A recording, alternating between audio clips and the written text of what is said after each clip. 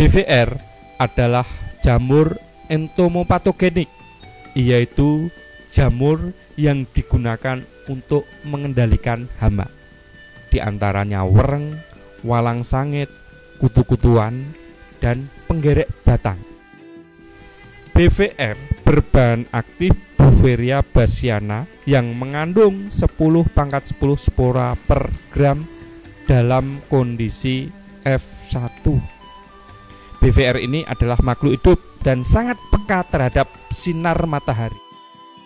Ini adalah hama wareng coklat yang menyerang pada tanaman padi dengan nama ilmiah Nila parvata lugen. Hama ini sangat berbahaya dan sangat susah dikendalikan dengan pestisida kimia karena sudah kebal yang sudah mencapai biotipe 4. Hama sasaran BVR yang lain adalah hama walang sangit atau Leptocoryza acuta. Hama ini merusak tanaman padi pada saat pembentukan male dengan cara mengisap cairan male yang masih muda. Kemudian ini adalah kutu daun atau aphids yang sering hidup berkelompok pada tanaman cabai. Kutu ini menyerang tanaman cabai dengan menghisap cairan daun sehingga daun menjadi berkerut dan timbul warna kuning. Kutu ini sebagai perantara virus pada tanaman cabai atau penyakit keriting pada tanaman cabai disebut dengan penyakit bule.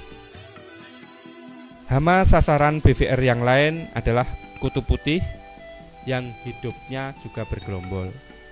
Dia akan mengisap cairan daun sehingga akan mengganggu proses fotosintesis. Kutu ini bisa sebagai perantara penularan penyakit embun jelaga.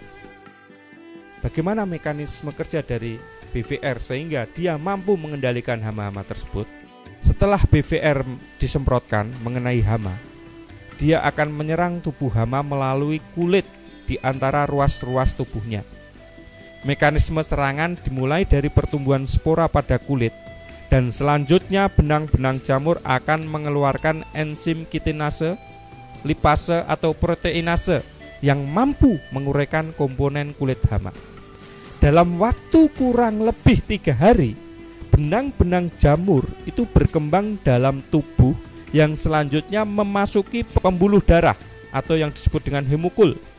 Selain itu dia juga mengeluarkan racun yang disebut buferisin, leufenolit, basionolit, eseorolit dan asam oksalat yang akan menyebabkan kerusakan secara mekanis seperti saluran pencernaan, kitin, otot, saraf, dan saluran-saluran pernafasan itu akan rusak. Akibatnya, hama akan mati, akan muncul badan buah berwarna putih yang bila terbawa angin atau kontak langsung dengan hama yang lain yang sehat, hama tersebut akan terinfeksi. Demikian selanjutnya, hive atau benang daun ini akan berkembang terus-menerus di alam Itulah cara kerja dari natural BVR.